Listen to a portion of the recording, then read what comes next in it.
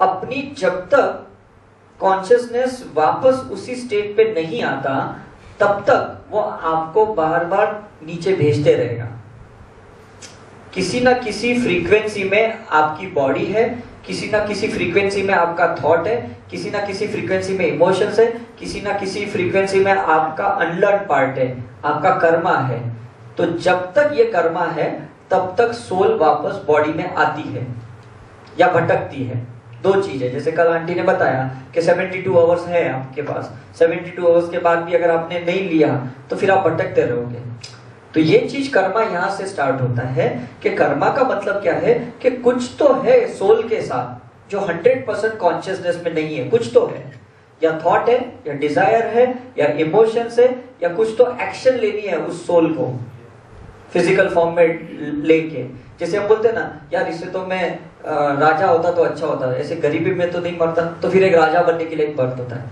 यार इससे तो गरीब होता तो अच्छा राजा बन के तो मैं कभी जी नहीं पाया अच्छे से तो एक गरीब बन के। मतलब कल जैसे उन्होंने बताया, कल जो क्वेश्चन था ना आपका, कि क्यों है ना कोई आदमी ऐसा सोचेगा, मैं गरीब बनू?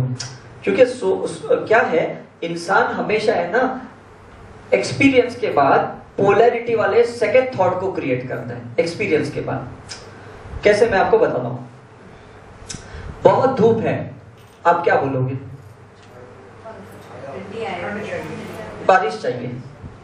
आप बोलोगे ना समर सीज़न में क्या होता है जल्दी बारिश हो। और बहुत बारिश है अभी आप क्या सोचोगे?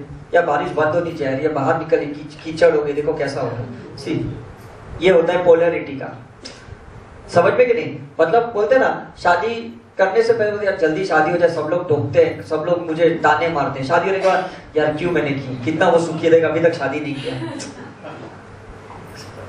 यू गॉट माई पॉइंट मतलब सोल है ना तब तक वो ग्रेविटेशनली नीचे आता है क्योंकि उसके कुछ तो पार्टिकल्स उसके साथ अटैच्ड है कुछ तो कार्मिक लेयर उसके साथ अटैच्ड है जिसको वो फुलफिल करने के लिए आपसे कोई ना कोई लेवल पे आपको बर्थ दिलाते रहेगा।